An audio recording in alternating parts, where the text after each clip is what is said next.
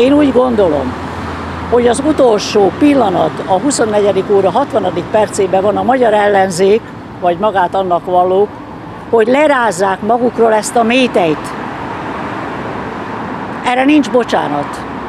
A baloldaliság egy vállalt életforma, és pillanatnyi előnyökért nem kötünk alkut, és nem kötünk szövetséget se a nácikkal, se az azokhoz hasonlókkal.